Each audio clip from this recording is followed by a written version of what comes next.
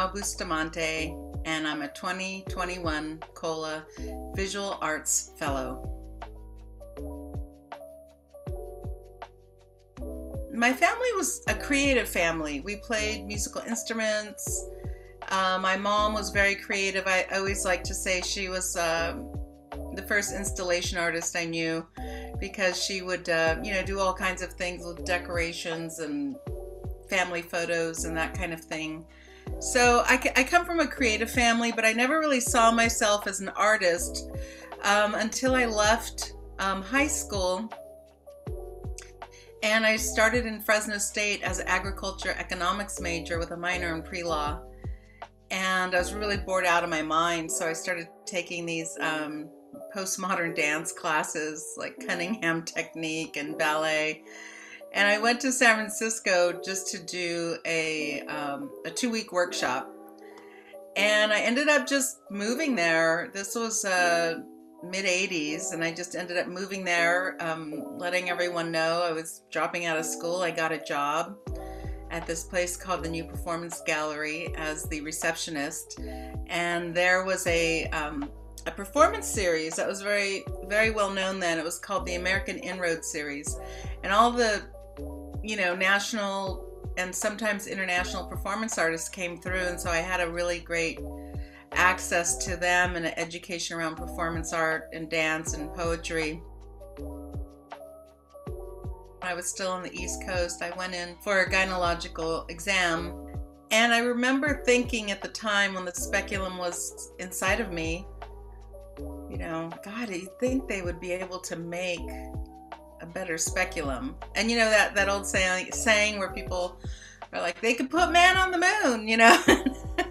I really felt that way. Like they could put man on the moon and they can't make a comfortable speculum. You know, sort of literally like this idea of like the spaceship going through space and the cosmos and the aerodynamic qualities of of these contraptions. But then having this object, which is called the duckbill speculum, and is based on a, an early version by um, a person who, you know, had terrible practices with women.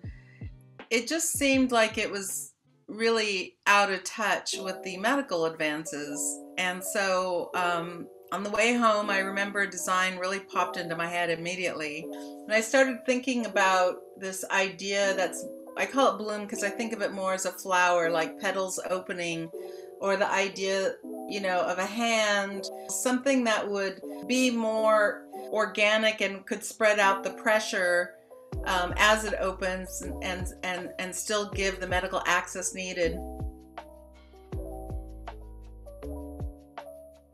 I've been working with a really excellent um, visual artist named Jessica Taylor Bellemy who's been helping me with the drawings because of, of course I'm a terrible drawer. You know, most of my work has been in the realm of video and performance and installation and, and so it's been a really amazing process. I would like to learn how to draw someday, but my main my main desire is to get uh, a good drawing of what's in my head out on paper so that I could begin the process of prototyping. It seems even kind of silly that as an artist that I would be moving into this area, but part of me thinks that I don't know, it's like a form of activism, I guess, in a way, as an artist, just to see a need and and want to work there.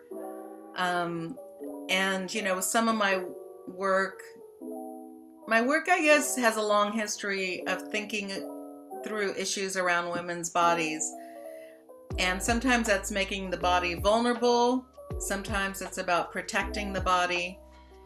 And now I am entering the body.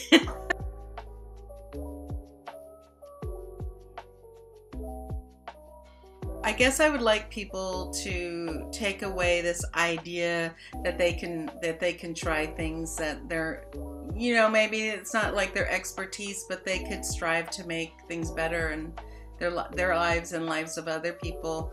And also I'd like to make it less taboo to talk about things like gynecological exams um, because it's so necessary, you know, to save women's lives